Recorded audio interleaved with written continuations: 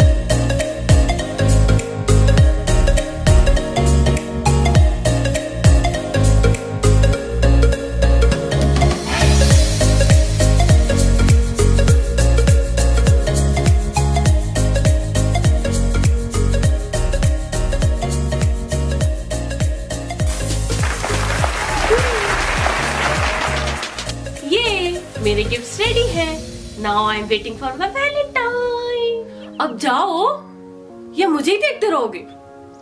Create your own gift with love लेकिन जाने से पहले लाइक ज़रूर करना और शेयर भी because sharing is caring and subscribe also अब मैं चलती हूँ।